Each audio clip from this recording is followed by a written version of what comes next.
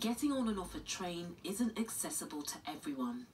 Baroness Tanni Grey-Thompson showing how she had to move her luggage and wheelchair off her train from Leeds last night without assistance. Well, it's now 22.17. No one's come to get me off.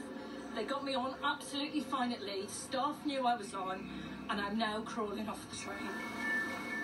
The law says that all train and station providers are supposed to have an accessible travel policy outlining the level of service and facilities passengers can expect, how to get assistance, and also how to get help if things go wrong.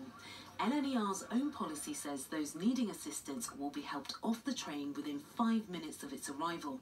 And if you can't pre book assistance when you arrive at the station, staff should be able to help.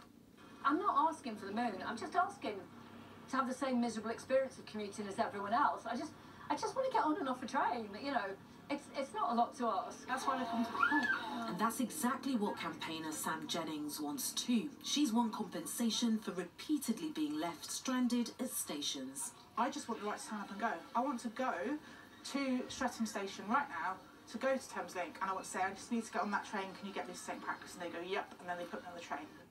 The train company LNER said in a statement it was sorry there'd been an issue at London's King's Cross station on Monday evening.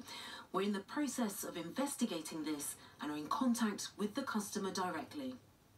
An independent report published for the government two years ago found that fewer than 2% of railway stations across the UK have level access between the train and the platform, which means a ramp is always required and a member of staff is needed to make it deployable.